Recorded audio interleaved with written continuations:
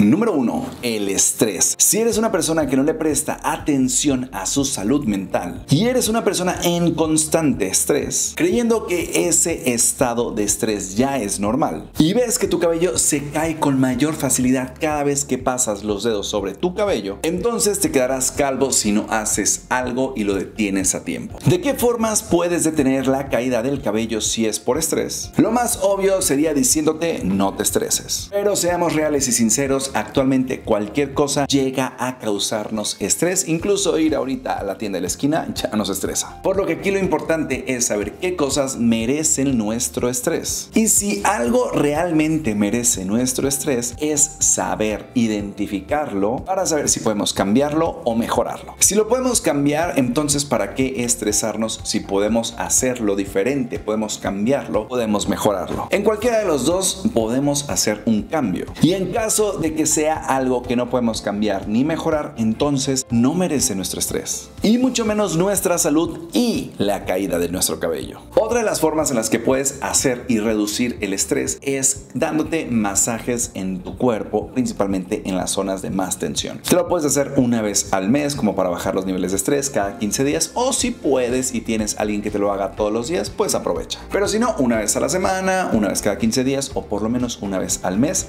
está bien. Pero algo que sí puedes hacerte tú mismo es un masaje capilar donde estás tomando las manos y tus yemas y ahora sí empiezas a masajearte. Qué rico es esto, de verdad. Esta parte de acá principalmente donde se acumula todo el estrés. Puedes hacer esto tres veces al día, en la mañana, en la tarde y en la noche. Además de ayudarte a disminuir o reducir el estrés, también estás ayudando a la oxigenación de la sangre en esta zona de nuestro cuero cabelludo, lo que ayuda a que nuestro cabello crezca mejor, más fuerte e incluso puede llegar a crecerte más rápido. Y así evitamos la caída del cabello. Número 2 es la herencia, muchachón. Si en tu familia, tus hermanos, tus primos, tu papá o tu abuelo o alguien cercano a ti dentro de tu núcleo familiar, por el lado de tu mamá o por el lado de tu papá, son calvos o han estado perdiendo cabello, déjame decirte que muy probablemente tú seas el próximo. Pero también para esto de la herencia hay una manera de revertirlo y lo mejor siempre será detectarlo a tiempo. Cuando digo a tiempo es en el comienzo de tus 20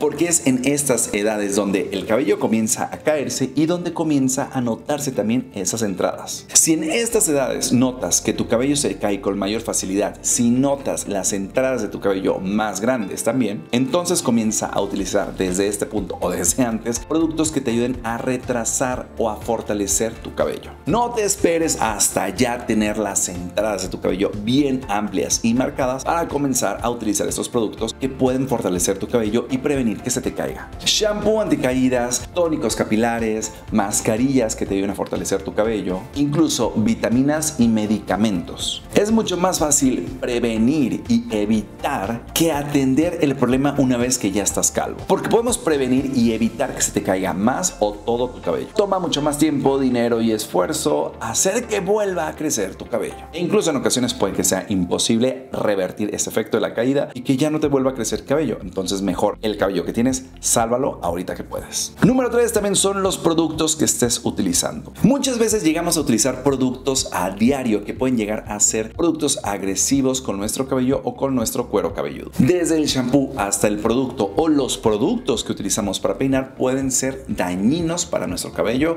y estar causando la caída. Así que busca productos que sean más limpios, que no contengan químicos agresivos y busca más estos productos que estén hechos a base de ingredientes naturales. Número 4 es no lavarte el cabello tan seguido. Si eres de los que solamente se lava su cabello una vez a la semana, estás haciendo todo mal. Sé que has escuchado que no hay que lavarse el cabello todos los días. Y en parte hay una pequeña razón en esto, pero todo tiene que ver con tu tipo de cabello y el shampoo con el que te estás bañando. Pero de ahí, de no lavarte tu cabello todos los días y solamente o solamente una vez a la semana, le estás haciendo más daño que bien a tu cabello. Puedes lavarte tu cabello todos los días sin problema alguno, mientras los productos que estés utilizando en tu cabello sean libres de sulfatos, de parabenos, de siliconas, de colorantes, de cualquier químico que pueda llegar a ser agresivo con tu cabello o con tu cuero cabelludo. Pero sí, sí puedes y debes de lavarte tu cabello a diario. De lo contrario, puede ser que al momento en que pases tus manos, tus dedos sobre tu cabello al momento de bañarte, veas bolas de cabello. Número 5 es no aplicar estos consejos. Si solamente te quedas viendo este video, pero no llevas a cabo ninguno de estos consejos,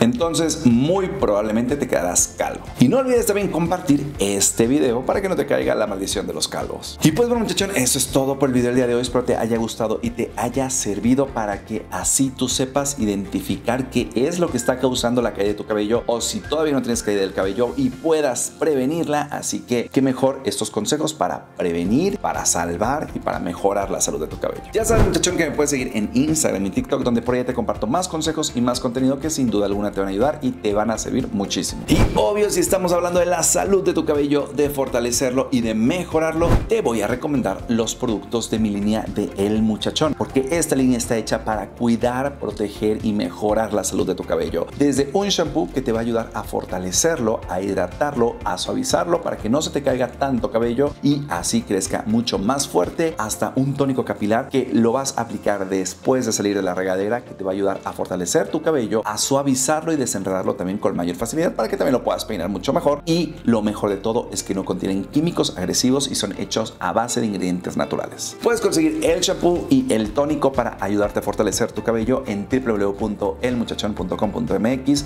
con envío a todo México y aprovecha un 10% de descuento si te llevas todo el kit El Muchachón, que es el shampoo, el acondicionador, el tónico capilar y el serum capilar. La fórmula, todo este kit 10% de descuento más envío gratis, así que hay que aprovechar estas buenas ofertas que tenemos porque nos llevamos todo un kit que va a mejorar la salud de nuestro cabello. Recuerda www.elmuchachon.com.mx con envío a todo México. No olvides suscribirte y darle like a este video si es que te ha gustado y te ha servido muchísimo y déjame acá abajo en los comentarios si tú ya has identificado aquellos inicios de la pérdida de cabello. Recuerda que yo soy JM Montaño y nos vemos en el próximo video. Good.